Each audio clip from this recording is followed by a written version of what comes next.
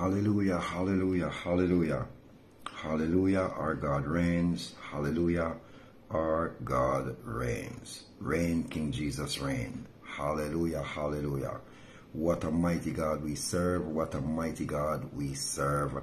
Angels bow before him. Heaven and earth adore him. What a mighty God. What a mighty God. What a mighty God we serve. Great is thy faithfulness, O Lord our Father. There is no shadow of turning in thee. Thou changest not thy compassion, they fail not. Great is thy faithfulness, Lord, unto us. Who is like unto you, O Lord? Who is like unto you, O Lord?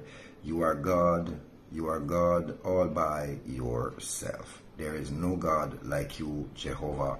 No God in all the heavens, no God in all the earth, no God quite like you. You are awesome in this place, Almighty God. You are awesome in this place. You are worthy of all praise. To you, our hearts we raise. You are awesome in this place, Almighty God. Hallelujah, hallelujah. The, one songwriter says, There is none like you. No one else can touch our hearts like you do. We could search throughout eternity, Lord, and find there is none like you. Hallelujah. There is none like you. No one else can touch our hearts like you do. Lord, we could search throughout eternity and we'll find that there is none like you. Hallelujah, hallelujah, hallelujah. Mm. You are awesome in this place, Almighty God. We praise you, we honor you, we adore you, we magnify you, we declare that you are God from beginning to end, and there's no place for argument. You are God all by yourself. Hallelujah. Hallelujah. Hallelujah. Our God reigns. Our God reigns. Our God reigns. God is a good God. Yes, He is. It's the 4th of July. Hallelujah. The day when the Americans were set free in the natural. Hallelujah. The day when America was set free in the natural day of independence. Hallelujah. But God is good. And so independence came long before 4th of July. Independence came when Jesus died on the cross. The true independence is who the Son sets free. Hallelujah. The only independence is who the Son sets free. For only who, who the Son sets free is free indeed. Is free indeed. It's interesting how the American uh, system says they are the land of the free and the home of the brave. Hallelujah. The land of the free and the home of the brave. Uh, yes, I believe that it is still the land of the brave, but I am not 100% sure about the home of the free. I am not 100% sure about the home of the free. And this is not about bashing America. As I said every time, I love America. I have so many family members living there. I have so many spiritual family members living there. People who I love, hallelujah, living there. And where you live is where I must love. Come on, hallelujah. So I'm just saying though, the reality of our situation as believers, as Christians, we must not lie to ourselves and think that because we love someone or we love somewhere that we must we must lie about the reality of what it is. We mustn't gossip or prophesy negatives about who about the people that we're around, about our church, our community, or our home or our our country. We shouldn't do that. Not encouraging that at all. But we it, in order to be able to pray productively in order to pray productively and strategically, we must accept the truth about ourselves, the truth about our family members, the truth about our community, the truth about our nation. The truth about your nation is that America is no longer free. America used to be free. used to be free. The founding fathers tried their best to make sure America was free, and America was free for a while. America was free where anyone could pray anywhere, anyhow, anytime. Come on. That's when America was free. And it doesn't matter, I'm a Christian, I believe in Jesus Christ of Nazareth. I believe that Jesus Christ is the one true and living God and there is no other God.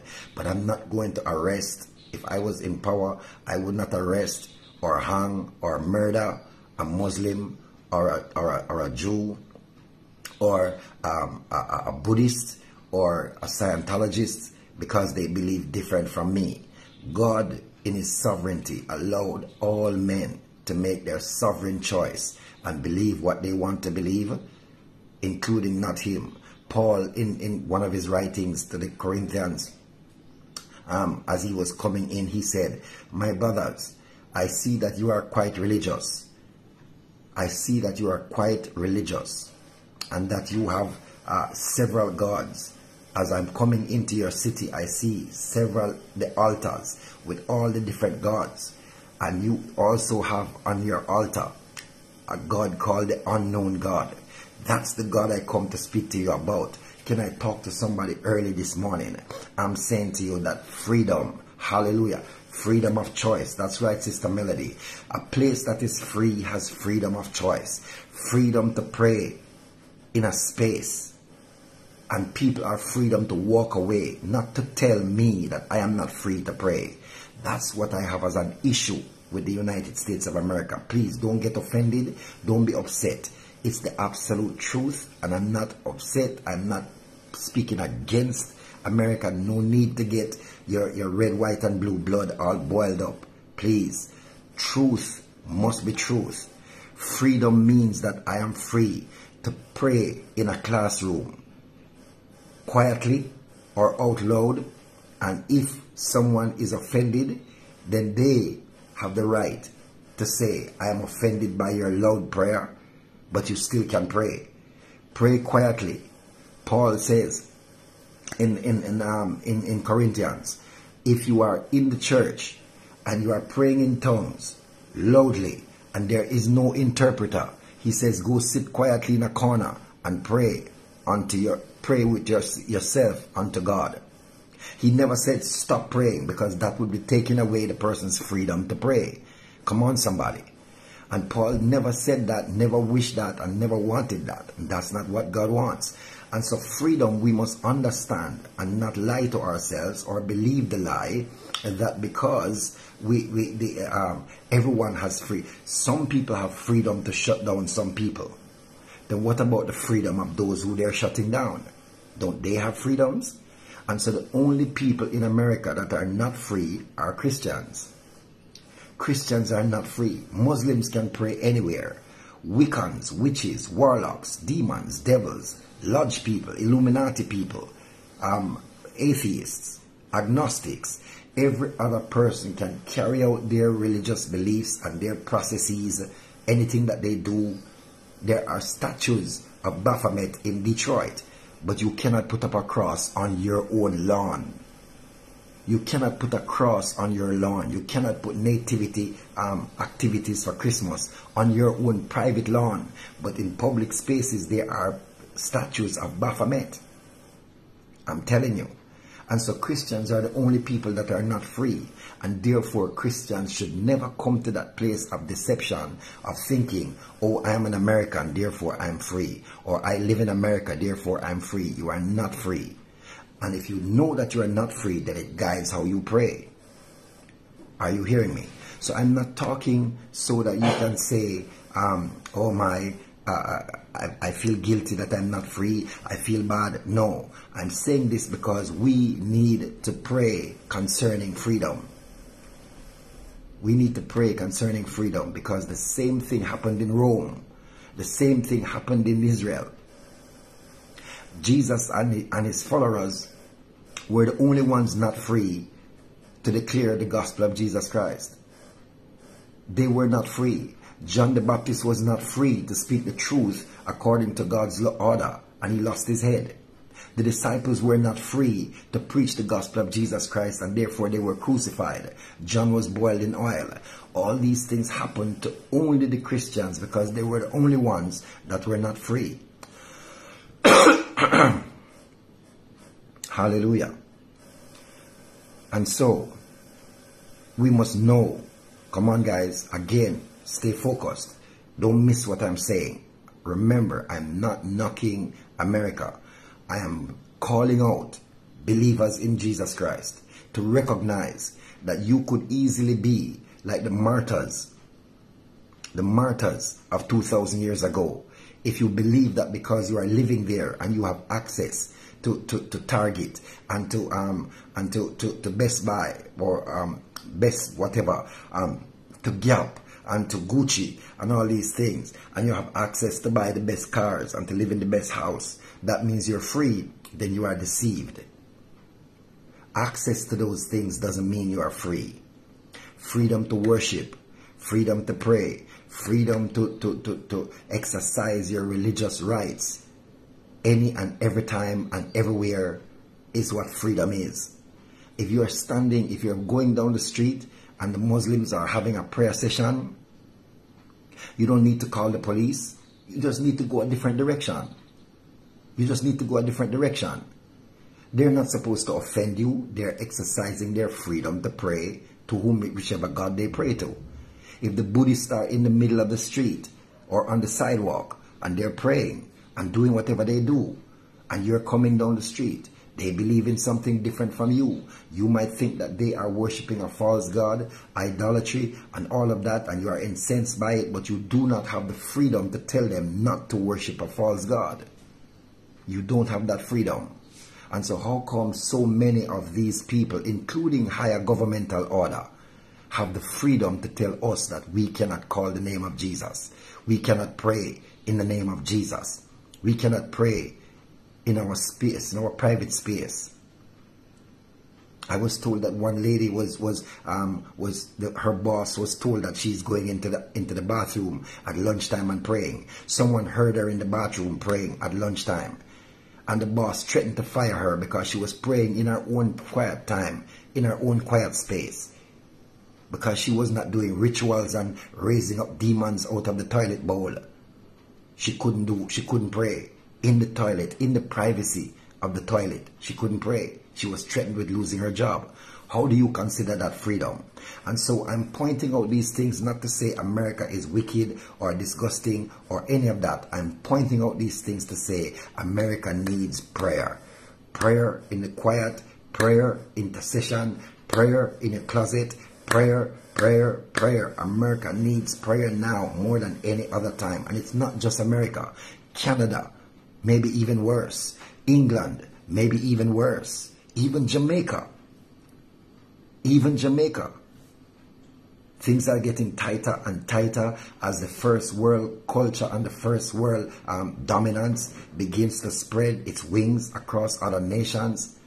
It is getting to that place. And so we must continue to pray. All I'm doing is warning God's people.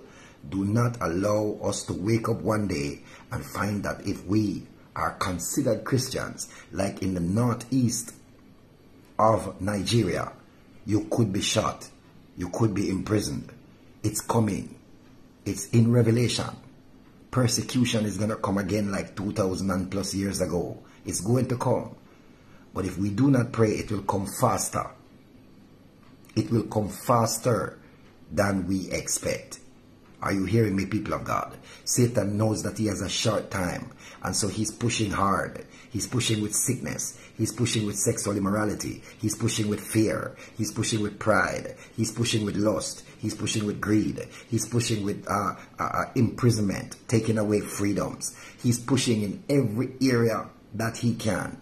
And unless the believers stand in agreement, recognizing what he's up to and begin to pray, we will fall victim. We will fall victim to what he's doing. And so I know that Satan is saying to some people right now, look at you. Who are you talking about? Why are you talking about America? What's Jamaica? Murder capital. What's Jamaica? Primitive. Third world country. Yeah, yeah, yeah, yeah, yeah. You're listening to Satan. I'm not saying anything bad about America. Saying that there is no freedom is not bad. What I'm saying is American Christians are not praying hard enough for their rights which they got through the Constitution, right to religion, freedom of religion, a constitutionally protected activity, is not being extended to Christians. That's all I'm saying. And we need to pray because Satan is at the root, at the foundation of trying to remove the constitutionally protected right of Christians. All other religions can have their freedom their constitutionally protected right, except Christians. That means we're the ones he's after, and I'm calling to all Christians, all Christians, begin to pray specifically. Stop just praying only for your family, for your breakthrough. It makes no sense for you to have air condition in hell. Are you hearing me, people of God?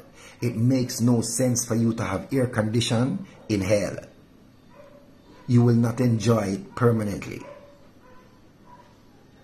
And that's what is happening. When you pray only for your family to graduate from university, to have nice jobs, to drive nice cars, to live well, and all you do is go to work, make money, go home, live in the comforts of your house, and you can go shopping, and you come back, and you buy nice things, and anyone that comes to your house sees nice things in your house, but your nation is falling apart, your Christian belief system is under attack, and you are not standing in the gap for that, then you are living in an air-conditioned house in hell.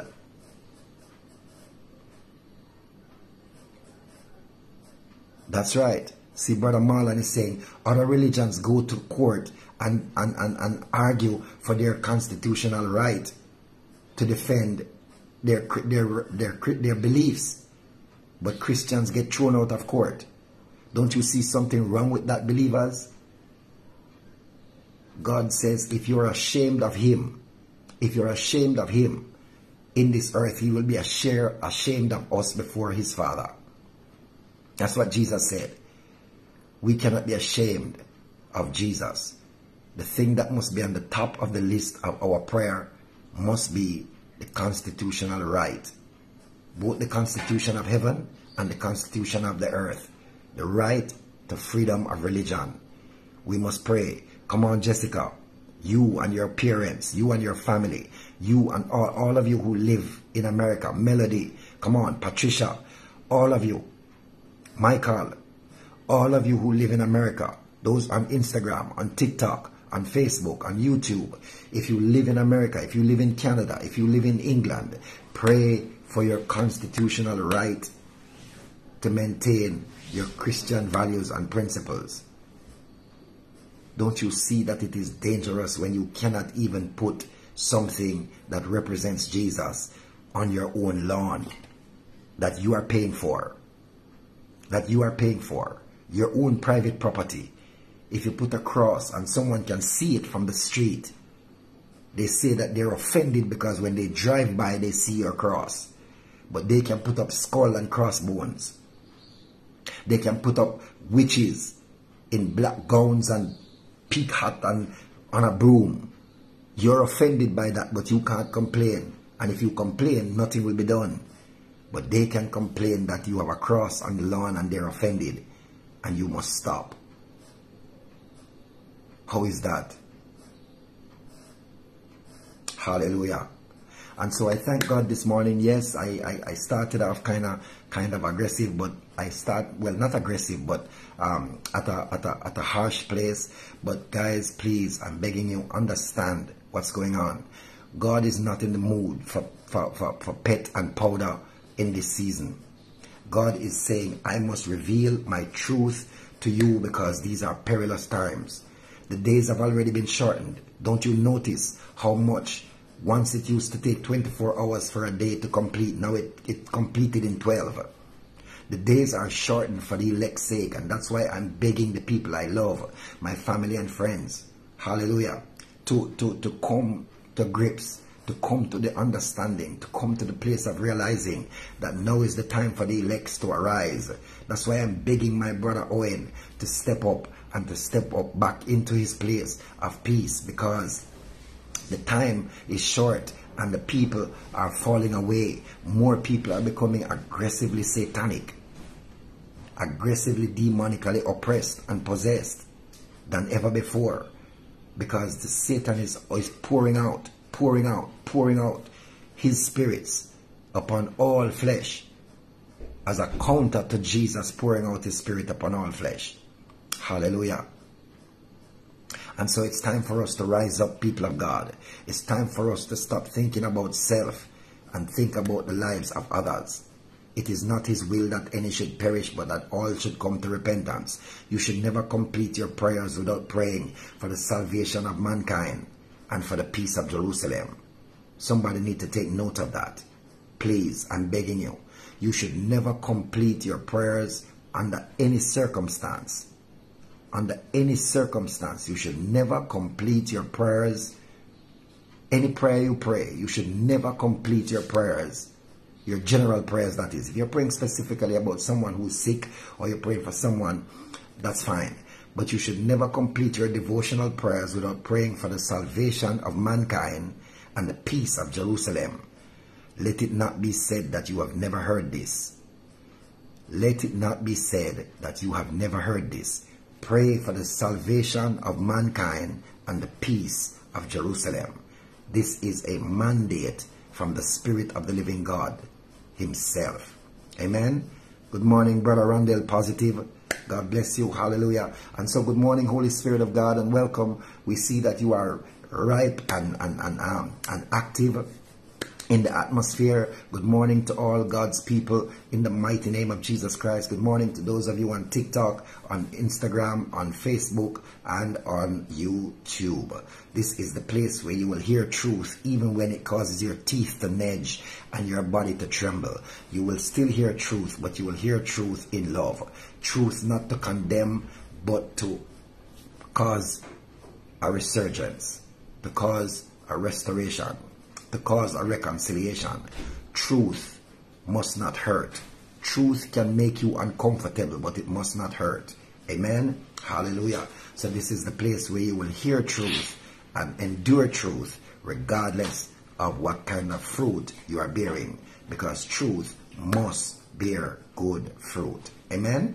And so truth is what we are looking for. So remember, please, I'm, I'm, I'm saying it again because I feel the Holy Spirit giving me an unction to say it again. Never complete your general prayer without praying for the salvation of men.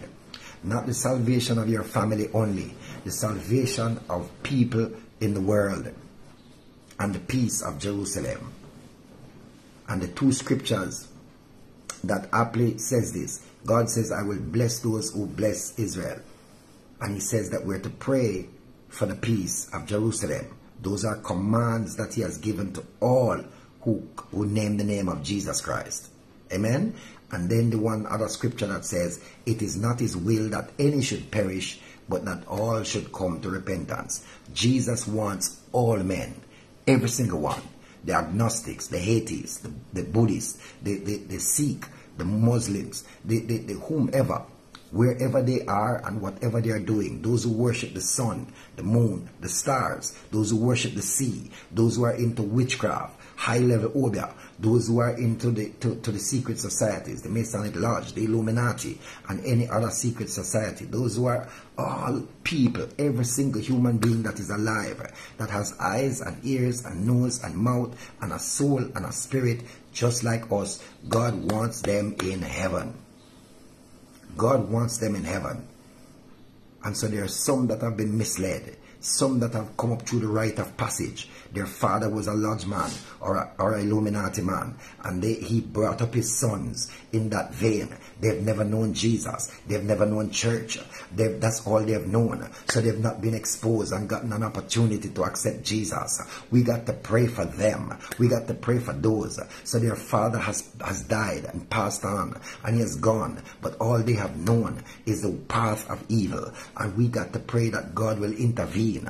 God will intervene. We must intercede so that God can intervene. Come on, can I say that again? We must intercede so God can intervene. There are hundreds of millions of people across the world who have grown up into religions that are that are idolatry, false doctrines, false gods, false way of living, and they have never known Jesus. They've never heard of Jesus.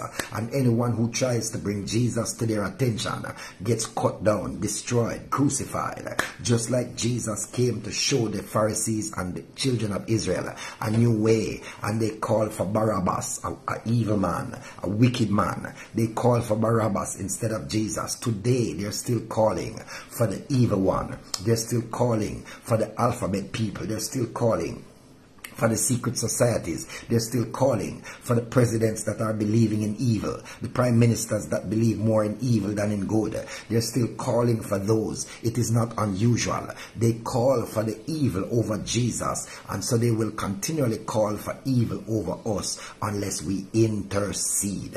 And so, come on, we must intercede so that God can succeed in causing a new breed.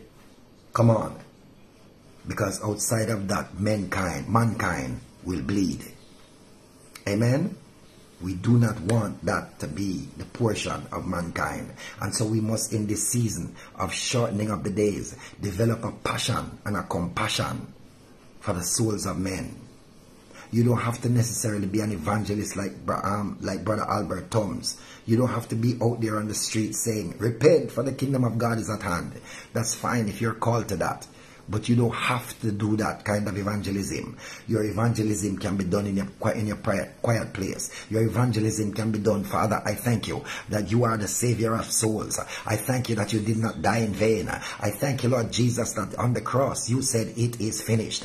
It is finished means that every single person has access to the finished work of the cross, has access to the finished work that will save the lost, have access to the death, burial, and resurrection that you performed in order so that man man might have life and life more abundantly. And so I thank you, Lord, for salvation for my family, salvation for my community, salvation for my nation, salvation for this world. I speak to the seven continents of the world and I say the blood of Jesus, the blood of Jesus, the blood of Jesus, the blood of Jesus, the blood of Jesus.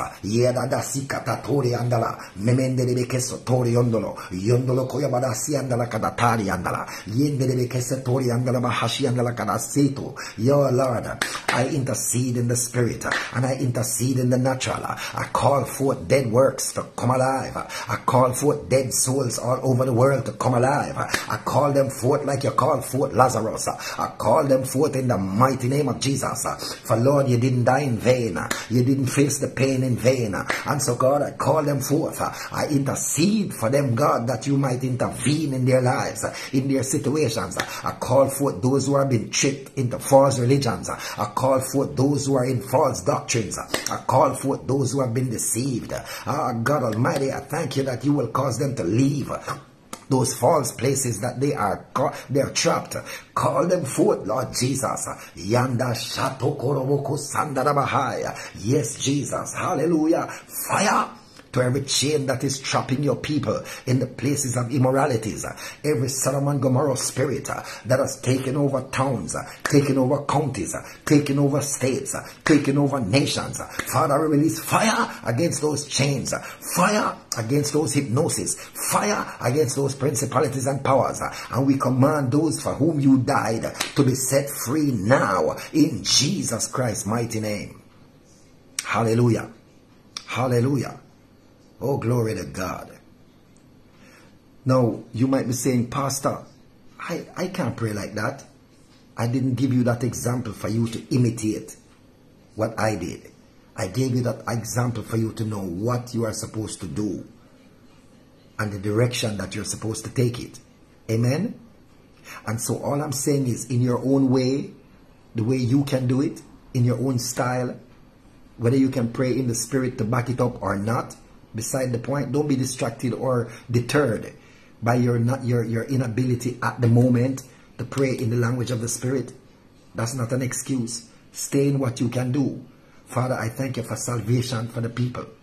If you're Jamaican and you can only pray in Patois, God understands Patois.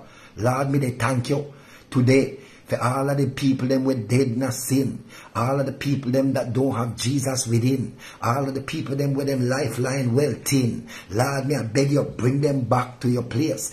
Draw them near Jesus. Draw them near wherever them live, God. Lord, me don't know all of the country them all over the world, but you know them. And so may I ask you, God, save the people them and bring peace to Jerusalem in the name of Jesus. That's if that's all you that's all you can speak patois. If you have standard English as your as your language, but you do not know how to put the things together, just pray according to your compassion for the souls of men.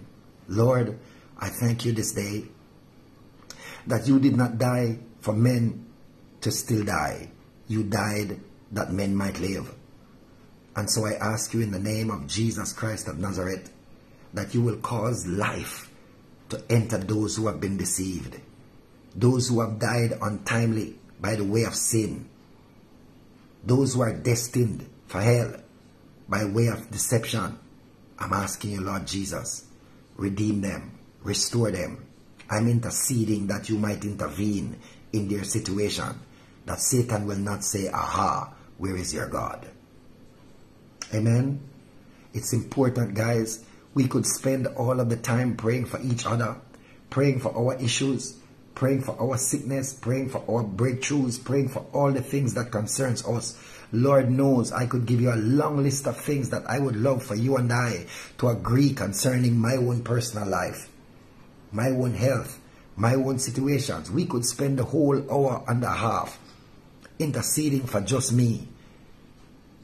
But if God desires for us to travail for those who do not know Him, I know for sure that even in my imperfection, even in my imperfection, if the things that I am facing, God says that's how I'm calling you home, and He calls me home tomorrow.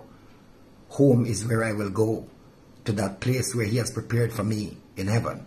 And so I don't have to be worried about wanting to live long and live strong and have all this health and strength and prosperity and good success. That's fine if God in His sovereignty decides to give it to me and to give it to you. But what about those who have no hope? What about those who cannot cope? What about those who thinks that the only way out is by a rope?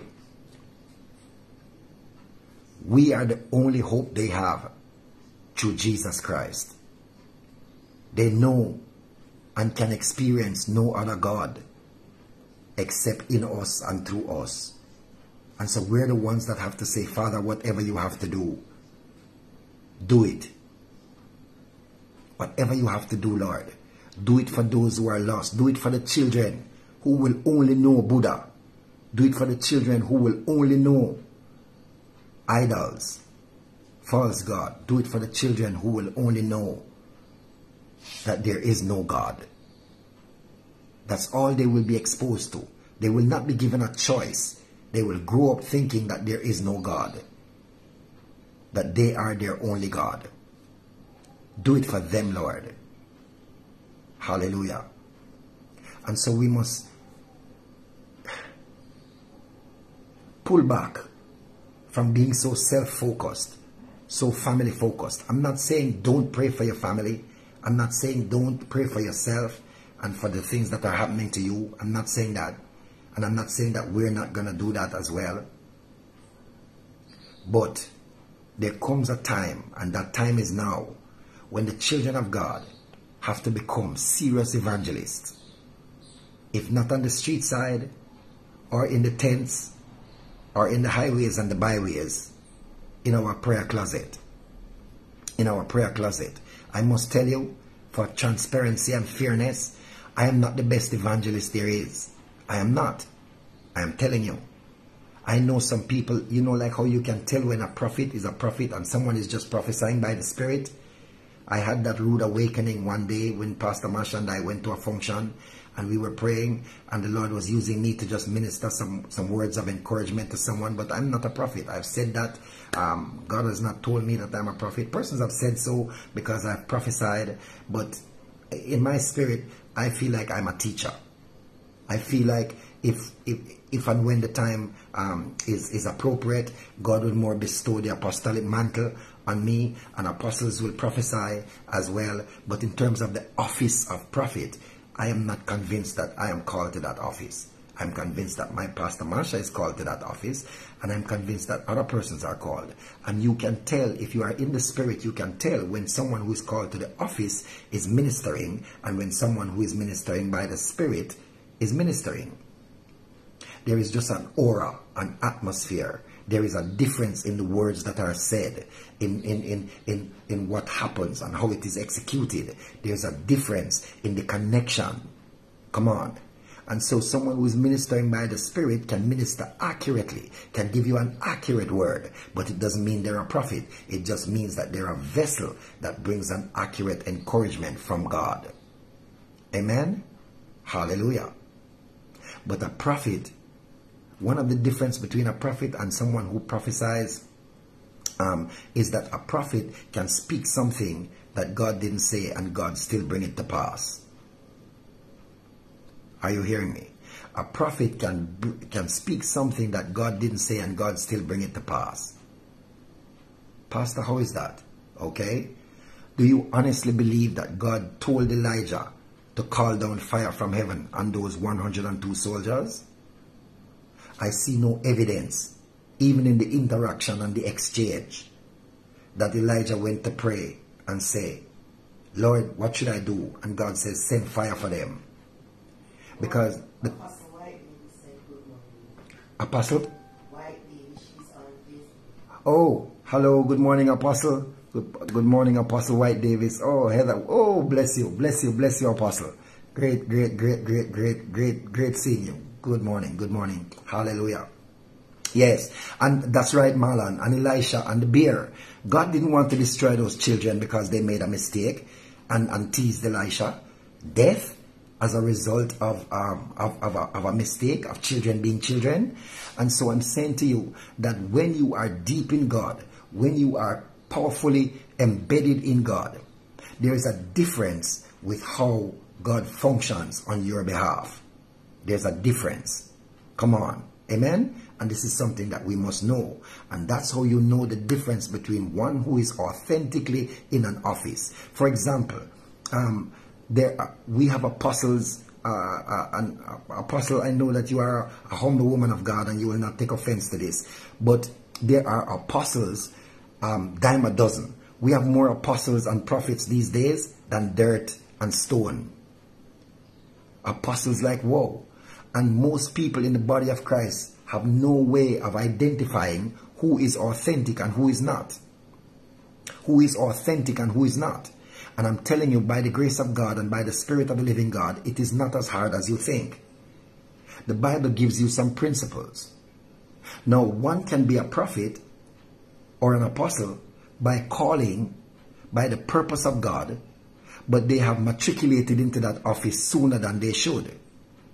So when God um, visits someone and says, I have called you to be my apostle, I've called you to be my prophet, they don't know that like like like um like Abraham had to wait many years before Isaac came, like like like Samuel had to wait many years before he was ordained and, and operating as a prophet, like David had to wait 14 or 15 years before he took the throne in Israel. Come on. There is a season between when you are told that you are a prophet or an apostle and when you actually get into the office functioning. There's some work that needs to be done.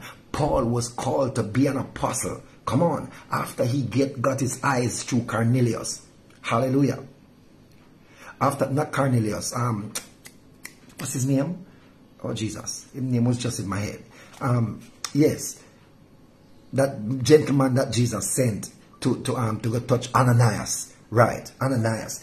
When Ananias touched Paul and he received his sight, and then he was baptized, when he came up and Ananias laid hands on him, that's when his apostleship was bestowed upon him. Come on. because that's what God had called him to. But he had to matriculate through the system. Paul is one, you will see it in the word that says that I used to be an evangelist. Paul used to Paul had to evangelize first because he had to learn the value of humility. He had to learn the value of what is considered quote unquote the simple office. He had to function in that office wanting souls to come to Christ before he got to the office where he could teach and manage and order and direct the souls of men. If you don't know how souls come, how are you going to manage them and control them and dictate to them? You don't understand the power of bringing them. And so there is a process that has to happen. Not only that, when Paul was an evangelist, he was an evangelist for a while. And then after that, God says, now I need to teach you the, the, the, the discipline and the ways of myself in order to be an apostle for me. And so God took him away into the Arabian desert for three and a half years and taught him his character and nature and, and, and, and his presence and poured into him so that when he came, he understood. And even after he came out of the Arabian desert, Paul still had to learn how to be an apostle. He still had to walk the walk because remember, he was he he he, he was still so high and mighty in his apostleship that he would not forgive John Mark when John Mark walked away from the mission too soon. And so he and Barnabas got into a tiff. But because Paul knew through humility, he knew through his continuous journey that, that, that it was a cycle, that a, a, a a, a, something that he had to learn continually. He was apologetic later down in the scriptures and he says, Hey, can you send John Mark, please, because he's valuable. He didn't hold a grudge permanently because he knew that was not of God. That was not according to the office. Hallelujah. Um, Apostle Heather says, I was told by prophets years before I even I even was functional. That's it. There has to be a process. A process. It is difficult for me to accept. Listen, I'm not knocking anyone. It is difficult for me to accept based on what I see in scripture. That someone 20 years old, 22 years old, 25 years old can be an apostle they can be called to the apostolic. But there are different levels to the apostolic. First of all, whether you like it or not, the Bible is very clear on some systems and processes that an apostle must perform. An apostle must be one that is organized, mature. Come on. Not, not, not light-headed and fleet and fleety. Must be organized because an apostle has a responsibility to organize the church of God to keep order, to bring order. That's what Paul was doing to the Corinthian church. He brought order and direction. Come on. He brought order concerning praying in tongues in church. He brought order concerning prophesying in church.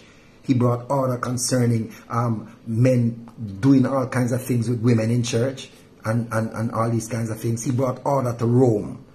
Hallelujah. He brought order to the Galatians, you foolish Galatians, who has bewitched you? He brought order. And so there needs to be maturity because if you are struggling with, with, with, with lust and with greed and with immaturity in your life, but God has called you to be a prophet uh, or an apostle, and you're walking in the office of apostle, and people are expecting you to bring order to a church, and your life is in disorder, you are going to bring only disorder to the place where there is need for order. And so there is a need for maturity. When a 55 year old woman or man has to go to her apostle who is 22, who has not even seen 1% of what she or he has seen in the natural, have no experience in what to do when husband say this to wife because he or she is not even married yet. Don't have that experience, that insight, that connect they're going to only try to function and give guidance and counsel on the basis of the word they know because they know the word, you know. They've been studying the word from they were seven years old. At 22, they know the Bible back and front. So it's not that they don't know the word, it's not that they're not called to the office, but I'm saying to you, there is a time when you must be in the Arabian desert. There, there is a time when you must learn how to function. See, Apostle Heather said she was told years before, but she had to learn how to function and she had to mature as a woman of God. Come on She had to mature not just as a saint of God, but as a woman of God, which are sometimes two different things. Hallelujah. I can tell you, even as functioning, even in functioning as a pastor, there were times when even at home and even with people, I thought some things and said some things and did some things that made me realize, yo, you are so still not matured for the role that you are playing. You need help. You need help. My wife is one of the most powerful, anointed persons I know. She is deep in the spirit, but sometimes she says some things and does some things in the natural that makes me say, God, I thank you that you have mercy on us. Because sometimes we say things and we don't even think. We say things about things that we don't even think because that level of maturity is still being built in us by God. And so don't be in a rush to become an apostle or a prophet. Be in a rush to learn the ways of God so that when He gives you an office, that office can be executed with great grace and mercy and peace and joy to the glory of the Lord Jesus Christ. Too many of us are in a rush. We love the title rather than the work. We love the victory rather than the training. We love the end rather than the journey. But without the journey, the end will be, will be thwarted or distorted. Without the training, the victory will be fleeting or by drugs. And that's why so many people today are turning to Obeah men they call them in Nigeria Sangoma. False spirits. Because they don't want the journey of God. They don't want to pay the price. They just want the victory. They want the big crowd. They want the big money. The nice cars. They don't want to develop maturity. Because you can have spiritual maturity you can be so spiritually mature, but naturally immature. And your natural immaturity can affect your spiritual maturity. As a matter of fact, can I go as far as to, to just say something out of my out of my soul? Let me say something out of my soul. If I had to choose, if I had to choose, I would rather work towards my spiritual maturity from my natural maturity than try to work from my spiritual maturity to my natural maturity. You might say, Pastor, but why? I don't understand because spiritual maturity is powerful. It is awesome. Guys, I'm telling you, I have seen, experienced, and witnessed some people with tremendous spiritual maturity for years. People that have been impressed, impressive. I know some personally, spiritually mature even to this day but naturally immature even to this day. Years and years they preach and teach and prophesy, and you'll be like, oh my God, this person is amazing. What an awesome anointing. But when you hear the things that they're doing out of their lives, out of themselves, the things they're doing to people, when the anointing is not in play, you wonder, my God, no, I, do, I will not believe that this person who is so anointed could do these things. But if you are spirit, if you are naturally mature, where you know the difference between right and wrong, you make good decisions, sound decisions, you're, you're, you're, you're, you're, you're in control, you know how to do and to assess and to, and to develop, then you can always grow in spiritual maturity because spiritual maturity is not directly proportional to us. We can just present a mature being before God and He makes you spiritually mature like that. But you present a spiritually mature person before God, and He still has to walk with you a thousand miles to get you naturally mature. That's right. As Pastor Marsha is saying in the background, there are many spiritually mature people who are hurting people like, whoa, Apostle Heather, you know this too. You know so many of them. Because the fruit has not developed. Part of being naturally mature is not just fruit of the Spirit, is fruit of the natural as well. Hallelujah. So the fruit of the Spirit is evident when you're naturally mature. Because you will, in your natural maturity, you will submit to the spiritual maturity. And guess what? Your spiritual maturity will also submit to your natural immaturity. Now, that's the most dangerous thing. Listen to me again. Let me say it slowly. Your spiritual maturity will submit will submit to your natural immaturity. Anybody figure that out? You, you, you understand what I'm saying?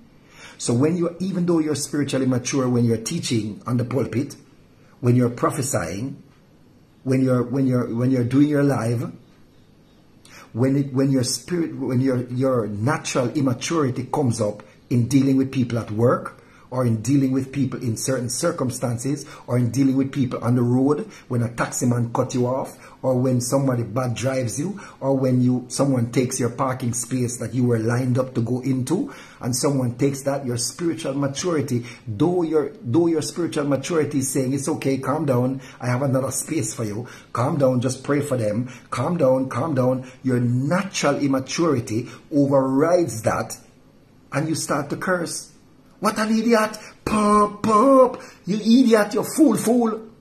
Why you drive so bad? Are you an idiot? You begin to curse because your spirit, your natural immaturity overrides your spiritual maturity. And that's what is dangerous. So I'm saying to you, that's my that's me explaining in detail why I would prefer. I would rather both of them coming at the same time. But if I had to choose which one I wanted to start with, I would rather start with natural maturity and grow into my spiritual maturity. Because natural maturity means that you will be more diligent. Come on. You'll be more intentional.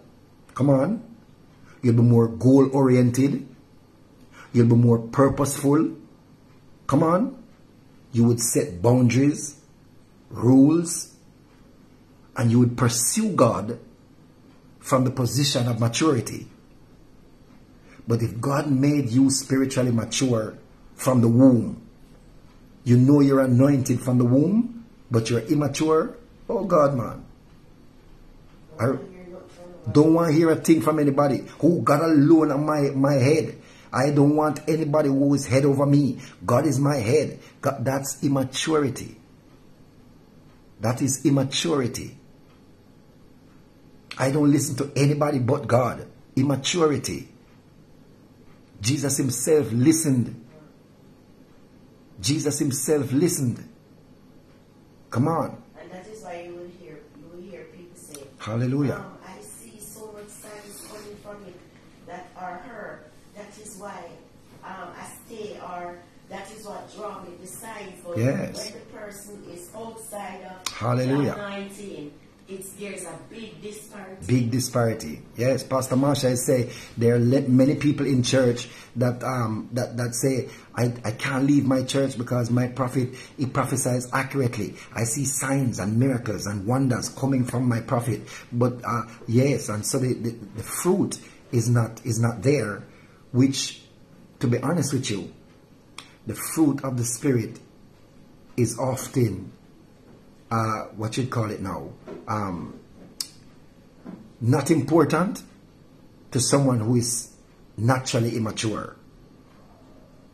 The fruit of the Spirit is not important to someone who is naturally immature. That's correct. Um, natural immaturity facilitates pride, come on, and fear. Natural immaturity facilitates pride and fear.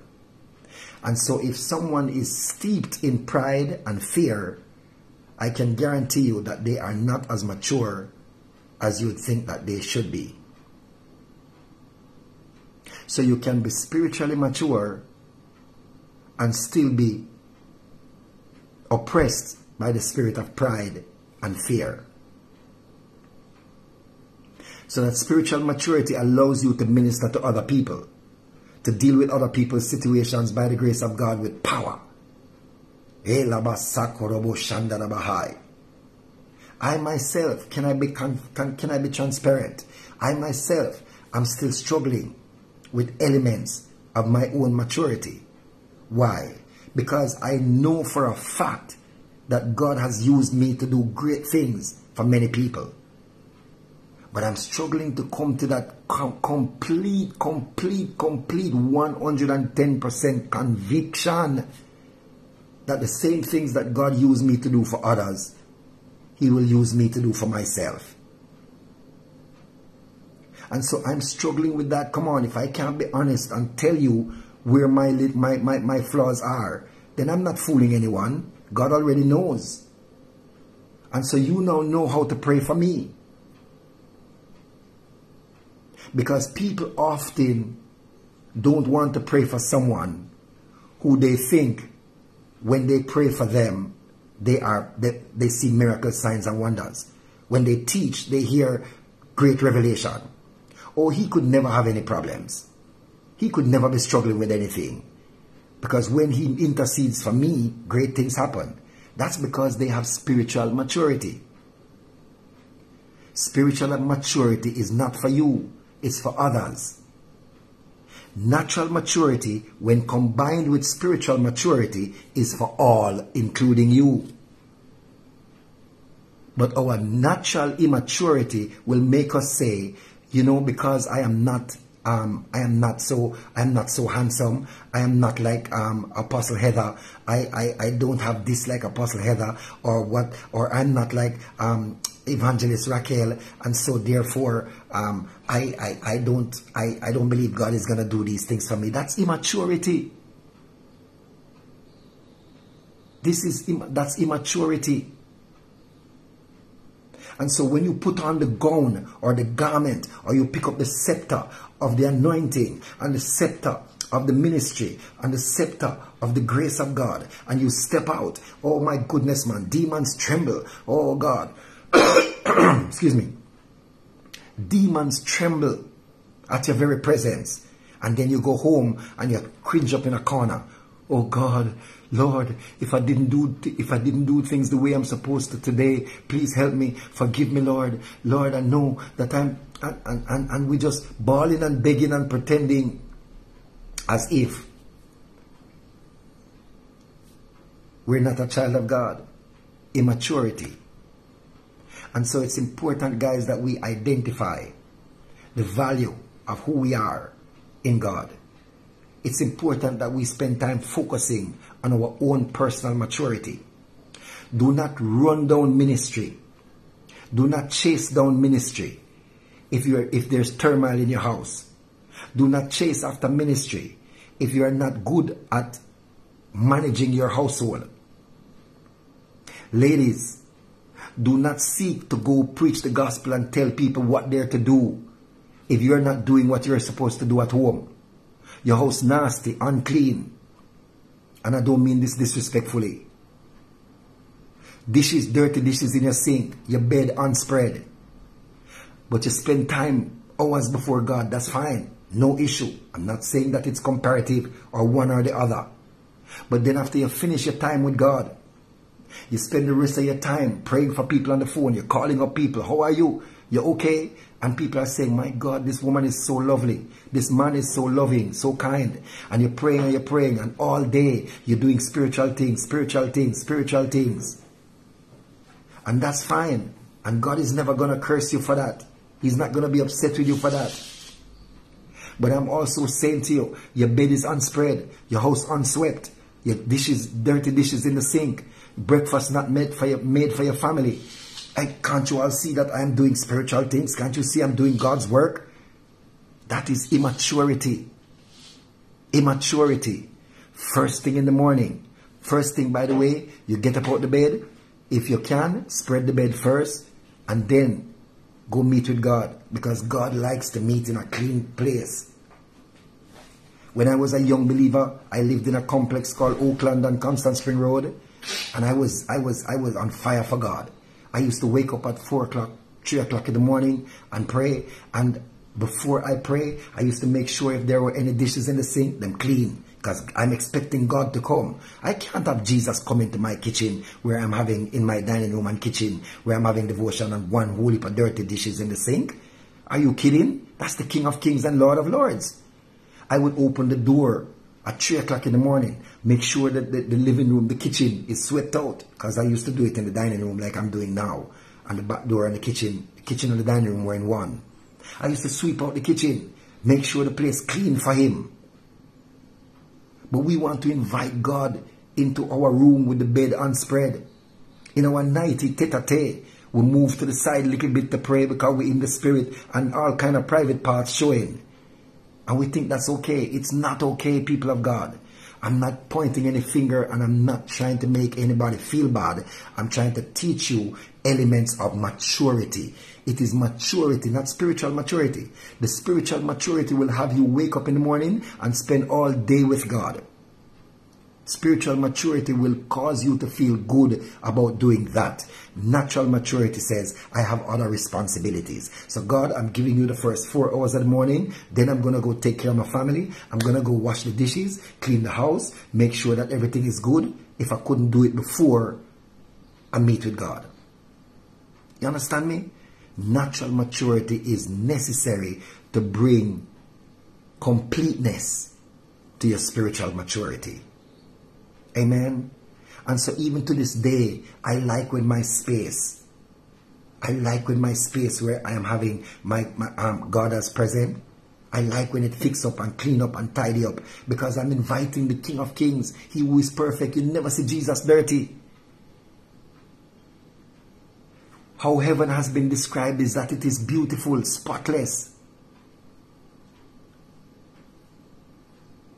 Oh my God. Sorry, sorry, sorry, Apostle. Sorry about that. But God bless you. Thank you so much for joining us. Hallelujah. God bless you. And so we our, our atmosphere must be spotless. We must treat it as if someone is coming over to visit. When you're single and you're and you're courting and someone is coming to pick you up to take you out on a date. You don't let them come into the house and the, the living room is a mess. Things all over the place dirty dishes in the sink and it's smelly. You have one room and one bathroom. The person needs to use the bathroom. The bathroom not messy. You clean up everything before you know that person comes. Every single thing. Talk truth. Am I talking truth or am I telling lie? You fix up the place spotless. You clean the place nice because a future husband is coming over and so I don't want to think that a future wife is coming over and I don't want her to think that I am I am not clean. You fix up the place. But chow, it's only Jesus. Can't stay in a 90. It's only Jesus. He, he's not concerned about my bed not spread.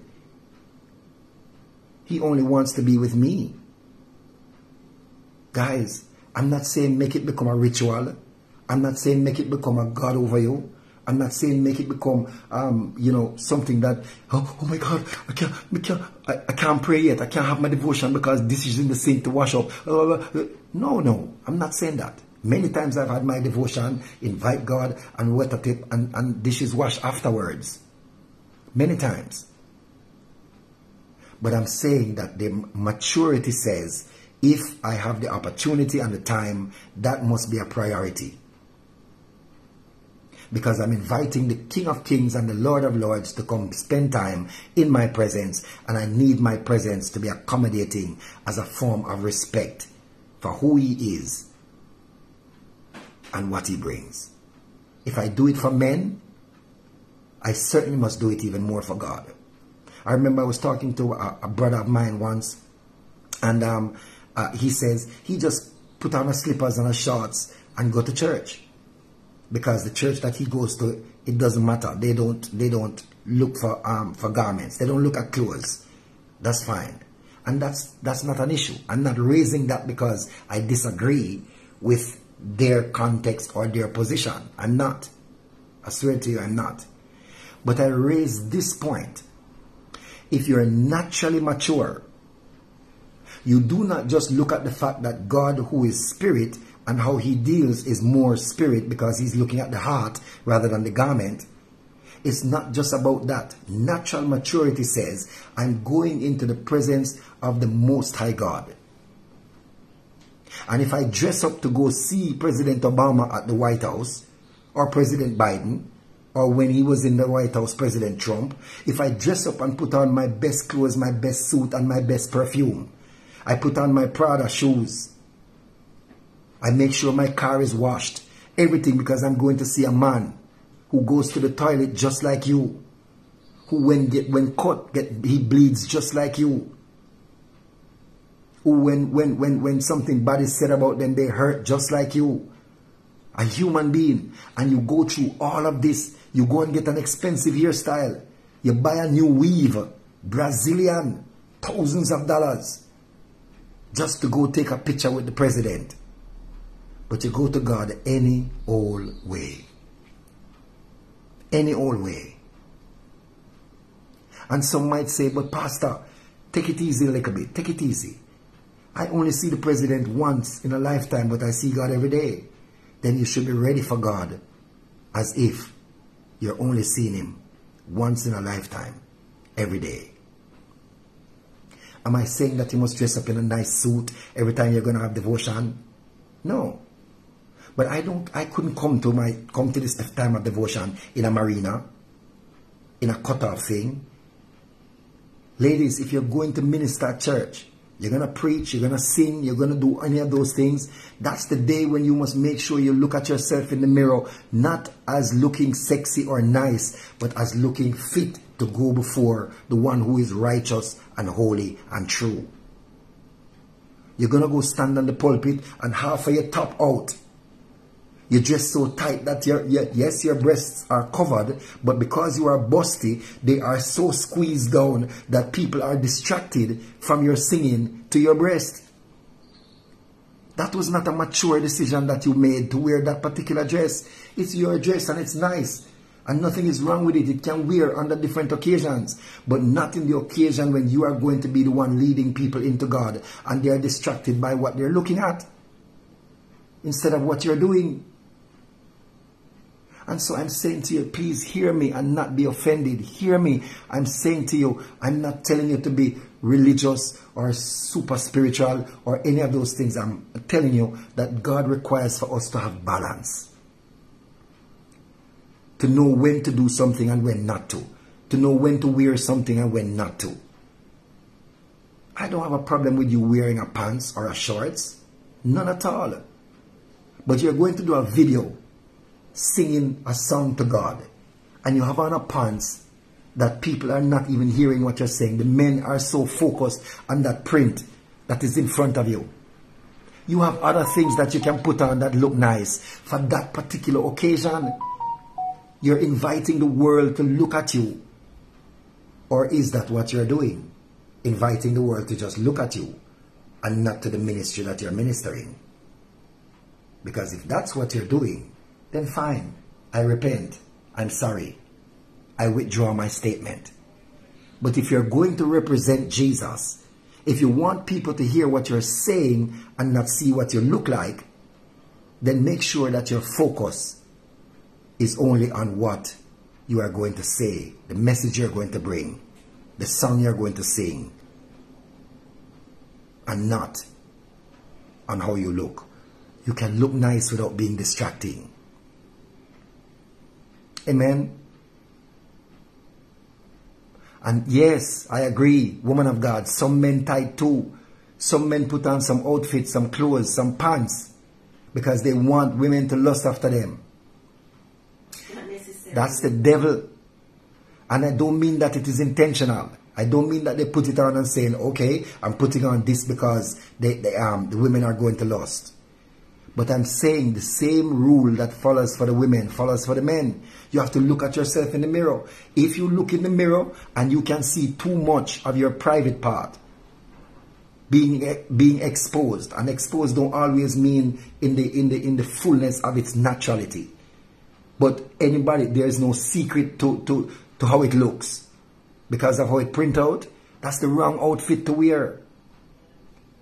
That one is too tight. You need a size up. Okay? Or you need to properly fix yourself. There's a way to fix yourself that, that, that you don't look a particular way in your clothes. But do we care about these things? It requires natural maturity in order for these things to be of value to us. You have to be naturally mature when you look at yourself in the mirror. When I'm dressing for church in the mornings, I stand in front of the mirror and I don't just look at how my suit looks. I look at how people are going to see me.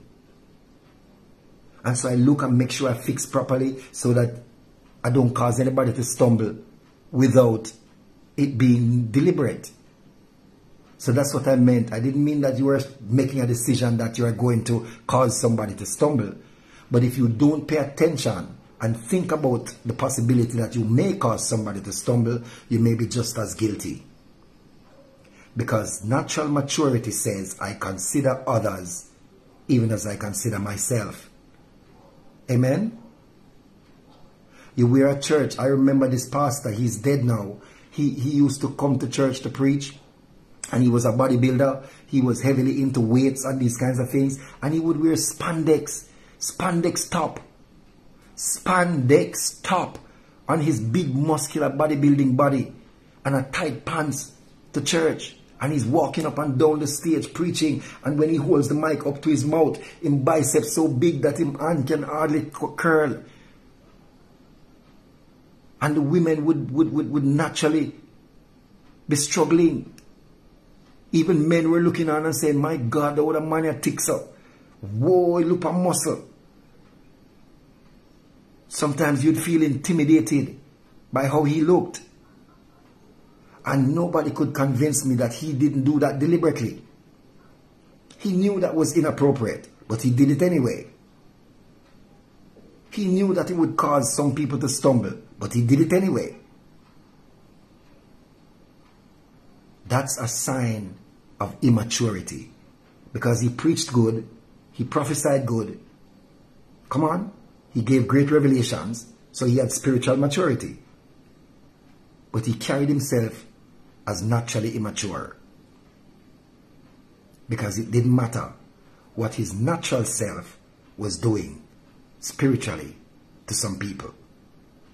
And so your spiritual, your natural immaturity can adversely affect your spiritual maturity and the spiritual maturity of other people as well. And so it is better for you to focus on growing in your natural maturity so that when your spiritual maturity comes, it has a place that fits, a place that will nurture it and utilize it for the glory of the Lord Jesus Christ. As Pastor Marsha said, there are many people who have great spiritual maturity, but they hurt more people than people who have none at all because they are naturally immature. Let us seek not to be naturally or spiritually immature, but let us walk holy and upright according to the will and purpose of God. Let us spend time developing ourselves. If you have anger problems, you're, you're, you're naturally immature. If you have lust problems, you're naturally immature. Come on. And I'm not saying that this is um, this is necessarily a bad thing. because natural immaturity sometimes means that you don't know how or want to seek help for the things that cause spiritual oppression upon you. Anger can be a spirit. Lust can be a spirit. But if you're naturally mature, you will identify that and you will say, you know what? I'm going to go seek spiritual help for this lust and this pride, for this fear, for this rejection. But if you're spiritually mature and naturally immature, you'll say, hear this, I don't need anybody to pray for me. I can pray for myself. I can deliver myself. I don't want anybody to know that me, who's so powerful, who's so anointed, needs help from deliverance from anger, or from fear, or from pride, or from lust, or from masturbation. Are you mad? I'm not letting anybody at all know that. I don't care who. Next thing them will say they don't want, any, want me to pray for anybody anymore. Next thing this pastor don't invite me back to him church to preach anymore. That's natural immaturity. Full of pride. Amen? And so guys, I hope that you were blessed this morning by this talk. Again, it didn't go the way I wanted. Uh, I had another plan, but God is faithful and I give him 100%. I will always only say what God leads me to say because it's his job, his work, his, he's the boss. This is not even our ministry. This is God's ministry that he has given us an opportunity to utilize. Um, brother, brother Mirage, brother Cecil, good to see you, mighty man of valor. I pray that you're recovering. I pray that you're in good health. I pray that your heart is right. Hallelujah. In the natural and in the spirit. I saw Sister Sandra saying something earlier. Sister Sandra, are you still on? You're saying something about needing prayer. As we get ready to close, I want to just pray for those who are um, having. Thank you so much. Appreciate Sandra McGowan. What is? Can anybody remember? Mild heart attack. Ah, oh boy, I tell you, the enemy has been going after the hearts these days, after the hearts. But God is faithful. God is faithful. Somebody on um on, on Instagram says good teaching. God bless you. Thank you so much. To God be the glory. Holy Spirit of God, you are awesome. I thank you. Hallelujah. Mild heart attack. All right. Uh, yes, so let's let's just pray for um, all the things that we we continue to pray about from yesterday: heart heart disease, heart attack, kidney disease, hypertension, hypotension. Um, and and and um, and for those who are in the way of the hurricane. And so, as we have been taught how to be naturally and spiritually mature, let us now apply that natural and spiritual maturity in seeking help from God for others at this moment.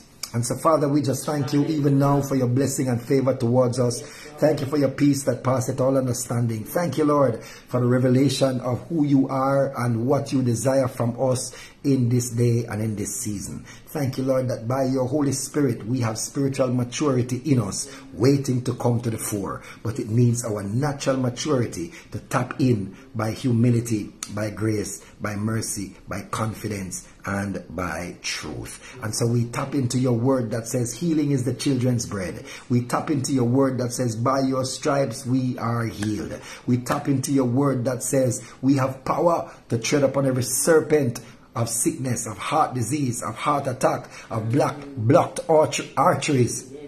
Oh God Almighty, those serpents of kidney stones, those serpents of gallbladder disorder, those serpents, oh God Almighty, of fibroids, we trample upon those serpents and scorpions of hypertension and diabetes and hypotension. In the mighty name of Jesus Christ. We trample upon them this morning by the fire of the living God by the power of the Holy Spirit. Father, we reverse every heart attack, every heart attack spirit, every every every every blood clot in the arteries and every blood clot that has been loose to travel through the veins towards the heart or towards the brain. I reverse that curse uh, or to the lungs. I set the fire of God into every vein, every vein, every vein to burn out block arteries, to burn out every blockages, everything, oh God Almighty, that seeks to kill your people, to cause untimely death. We reverse them now. Every kidney, kidney failure, kidney disease, kidney stone, we reverse them by fire. I speak new kidneys. I speak new nervous system. I, new, I speak new menopausal system in the mighty name of Jesus Christ of Nazareth. I speak new heart,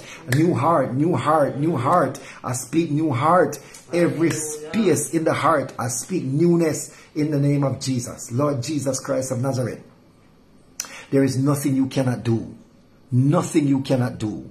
You brought life back, which means that in bringing life back, you gave new kidney, new heart, new liver, new spleen, new nervous system, new joint and marrow.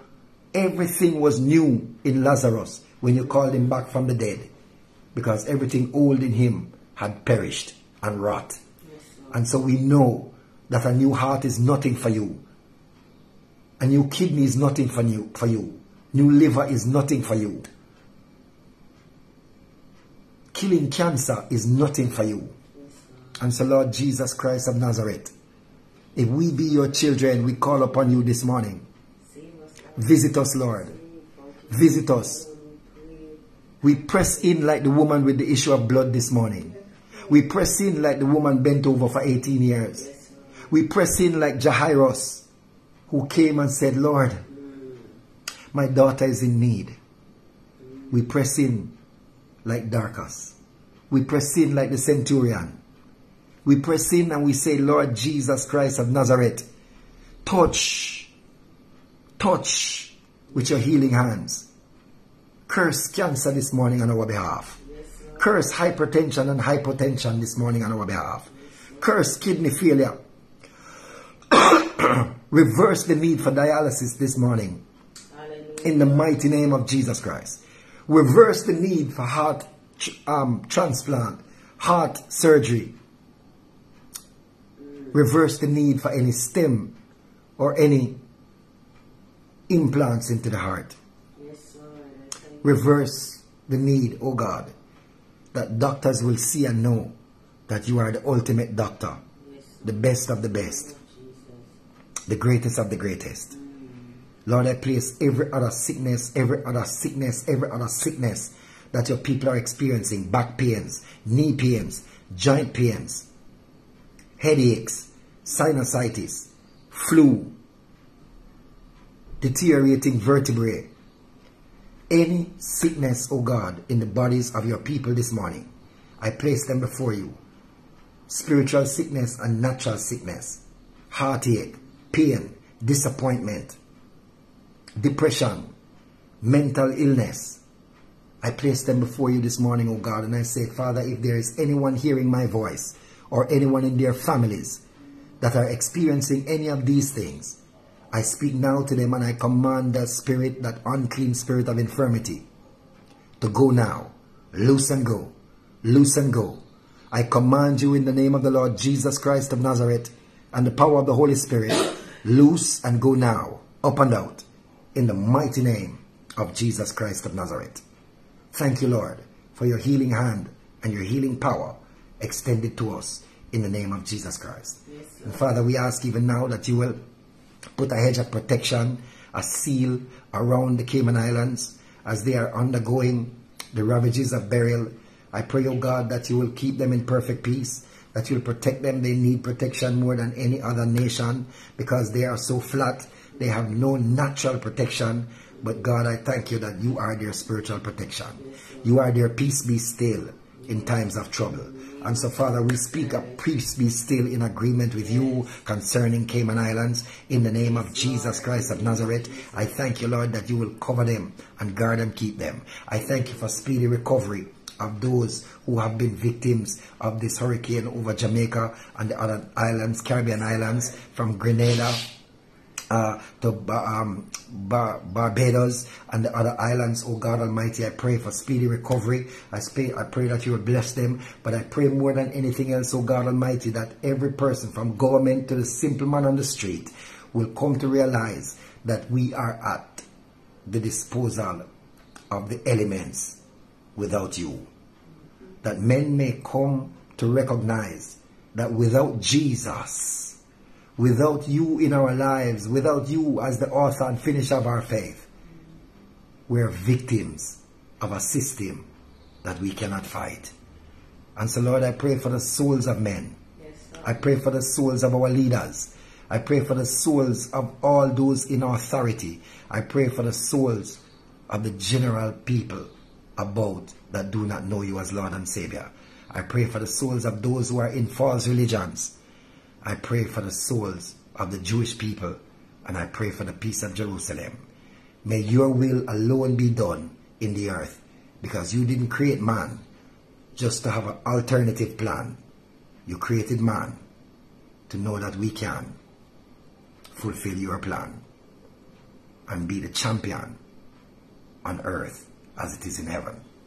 In Jesus' mighty name we pray. Amen and amen.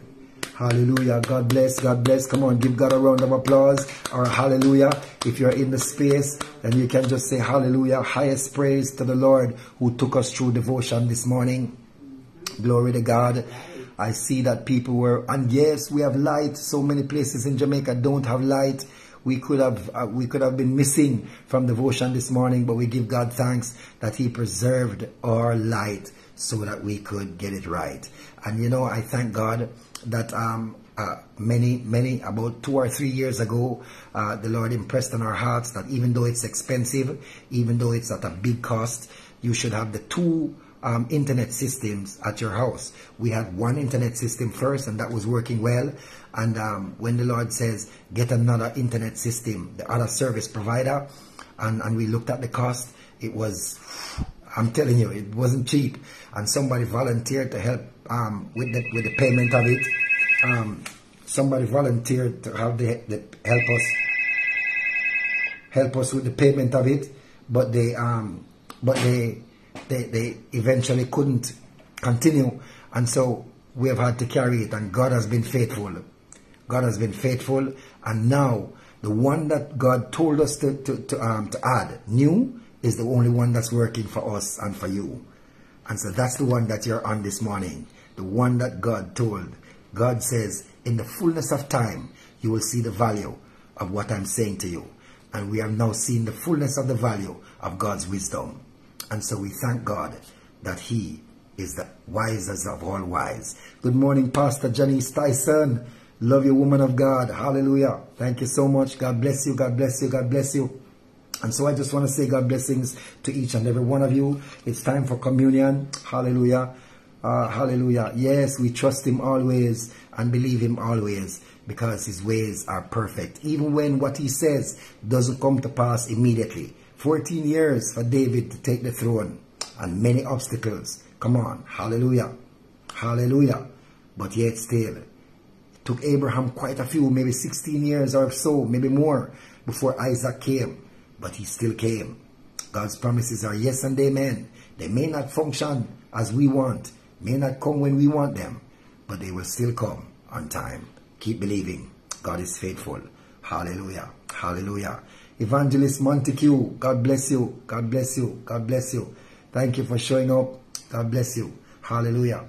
And so as the Lord Jesus Christ of Nazareth did the example in the upper room when he gave the disciples the, the, the, his body and his blood, hallelujah, before his death.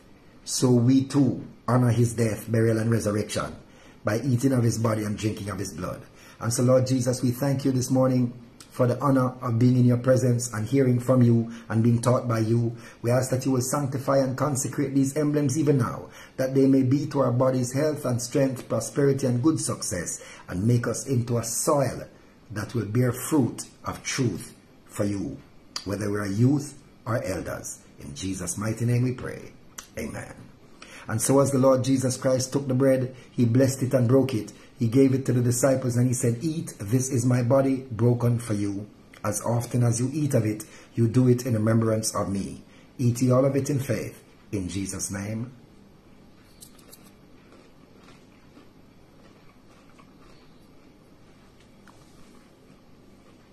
Mm.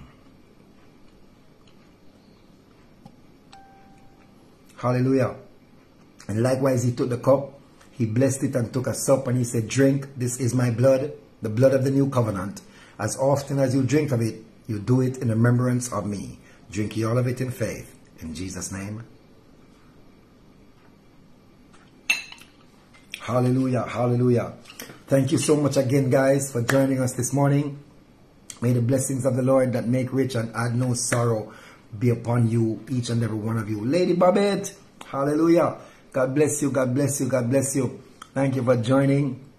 Sorry that you're you're joining just as we are exiting, but still, like the like the people who got employed just before work ended, and they still got the same pay.